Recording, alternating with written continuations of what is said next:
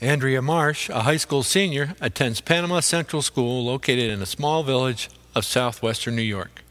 She puts the honor in the term honor student athlete. She excels in the classroom, ranked first in her class, as well as the athletic field.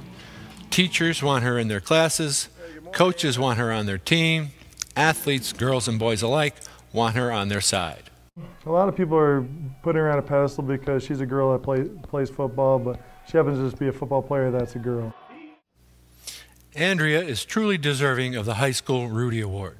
She started playing midget football in fifth grade because her brother did, and it looked like fun. In prepping for one of her early seasons of midget football, her version of fun included pulling a cinder block across the backyard. From the beginning, she was racking up stats as well as demonstrating the discipline and mental toughness required in the hard fought game of football. Andrea, five foot six, weighing 140 pounds, worked hard in the weight room knowing the physical demands of playing varsity football would be difficult.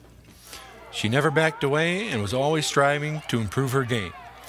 Coach's corrections and or play review were always met with, thank you coach, I'll do better next time. At the time I that she joined football, it was uh, something that I didn't really want her to, to do. I didn't feel she should do it. Her mom, Sandy, had talked to me and just said that she really felt that Andrea should be given the opportunity if she wanted to do so.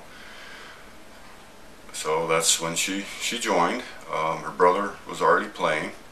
Yep, fifth grade is when we started because fourth grade she was too young to play, and I remember fifth grade, the first practice, she was out there playing with us. It was a blast.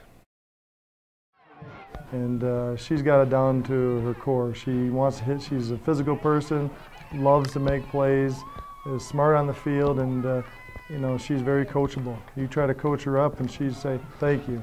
Hey, you got to do a better drop here. Thank you." She was always, "Thank you, yes, sir." Amy's just one of those players that you need on the team. I mean, you tell her go do something, she does it, gets it done. Gives about 110% to everything she does. Kept the team together. Just great leadership characteristics. I mean, we had squabbles and just put an end to them. Guys like unity. We were a tight knit group because she was on the team.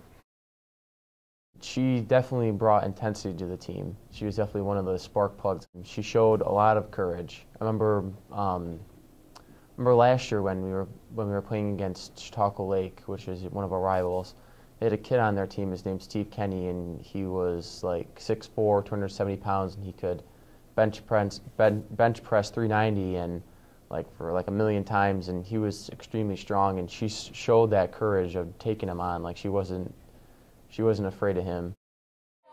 Her character off the field is impeccable. She's just a person that uh, makes everybody on the team feel feel like they're important.